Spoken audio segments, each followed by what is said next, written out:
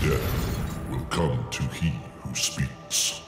We will keep their lifespan short and their minds weak while pretending to do the opposite. We will use our knowledge of science and technology in subtle ways so they will never see what is happening. We will use soft metals, aging accelerators, and sedatives in food and water. Also, in the air, they will be blanketed by poisons everywhere they turn. The soft metals will cause them to lose their minds. We will promise to find a cure from our many fronts, yet we will feed them more poison. There aren't reasons to not get Are you vaccinated. telling parents you should get your kids vaccinated? You should get your kids vaccinated. It's good for them. The poisons will be absorbed through their skin and mouths. They will destroy their minds and reproductive systems. From all this, their children will be born dead, and we will conceal this information. The poisons will be hidden in everything that surrounds them, in what they drink, eat, breathe, and wear. We must be ingenious in dispensing the poisons, for they can see far. We will teach them that the poisons are good, with fun images and musical tones. Those they look up to will help. We will enlist them to push our poisons. They will see our products being used in film and will grow accustomed to them and will never know their true effect. When they give birth, we will inject poisons into the blood of their children and convince them it's for their help. We will start early on when their minds are young. We will target their children with what children love most sweet things. When their teeth decay, we will fill them with metals that will kill their mind and steal their future. When their ability to learn has been affected, we will create medicine that will make them sicker and cause other diseases for which we will create yet more medicine. We will render them docile and weak before us by our power. They will grow depressed, slow, and obese. And when they come to us for help, we will give them more poison. We will focus their attention toward money and material goods, so they may never connect with their inner self. We will distract them with fornication. On Tuesday, Oregon State Police got a tip that a young woman had created a 17 minute porn video that ended up on Pornhub.com. Yeah, it's the buzz around campus. external pleasures and games, so they may never be one with the oneness of it all. Their minds will belong to us, and they will do as we say. If they refuse, we shall find ways to implement mind altering technology into their lives. We will use fear as our weapon. We will establish their governments and establish opposites within. We will own both sides. We will always hide our objective, but carry out our plan. They will perform the labor for us, and we shall prosper from their toil. Our families will never mix with theirs. Our blood must be pure always, for it is the way. We will make them kill each other when it suits us. We will keep them separated from the oneness by dogma and religion.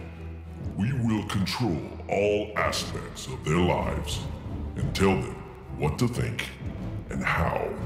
We will guide them kindly and gently, letting them think they are guiding themselves. We will foment animosity between them and our factions. When a light shall shine among them, we shall extinguish it by ridicule or death, whichever suits us best. But that's called the death panel, uh, and you're not supposed to have that discussion. We will make them rip each other's hearts apart and kill their own children. We will accomplish this by using hate as our ally, anger as our friend. The hate will blind them totally, and never shall they see that from their conflicts we emerge as their rulers. They will be busy killing each other. They will bathe in their own blood and kill their neighbors for as long as we see fit. We will benefit greatly from this, for they will not see us, for they cannot see us. We will continue to prosper from their wars and their deaths. We shall repeat this over and over until our ultimate goal is accomplished. We will continue to make them live in fear and anger through images and sounds. We will use all the tools we have to accomplish this. The tools will be provided by their labor. We will make them hate themselves and their neighbors. We will always hide the divine truth from them that we are all one. This they must never know. They must never know that color is an illusion. They must always think that they are not equal. Drop by drop, drop by drop, we will advance our goal. We will take over their land, resources, and wealth to exercise total control over them.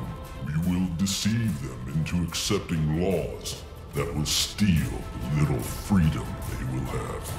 We will establish a money system that will imprison them forever, keeping them and their children in debt. When they shall band together, we shall accuse them of crimes and present a different story to the world, for we shall own all the media. We will use our media to control the flow of information and their sentiment in our favor. When they shall rise up against us, we will crush them like insects. But they are less than that.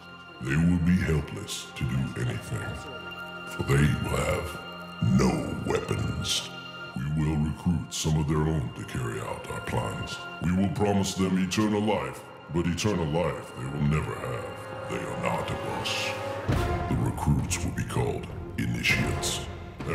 Indoctrinated to believe false rites of passage to higher realms. Members of these groups will think they are one with us, never knowing the truth. They must never learn the truth, for they will turn against us. For their work, they will be rewarded with earthly things and great titles, but never will they become immortal and join us. Never will they receive the light and travel the stars. They will never reach the higher realms, for the killing of their own kind would prevent passage to the realm of enlightenment. This they will never know. The truth will be hidden in their face, so close they will not be able to focus on it until it is too late. Oh, yes. So grand the illusion of freedom will be that they will never know they are our slaves. When all is in place, the reality we will have created for them will own them. This reality will be their prison. They will live in self-delusion. When our goal is accomplished, a new era of domination will begin. Their minds will be bound by their beliefs. The beliefs we have established from time immemorial. But if they ever find out they are our equal. Not turning our guns in, and we're not running, and we're not backing down. If you want them, come and take them. We shall perish then. This they must never know. If they ever find out that together they can vanquish us, they will take action. They must never, ever find out what we have done. For if they do, we shall have no place to run for it will be easy to see who we are once the veil has fallen. Our actions will have revealed who we are, and they will hunt us down, and no person shall give us shelter. This covenant must never, ever be known to exist.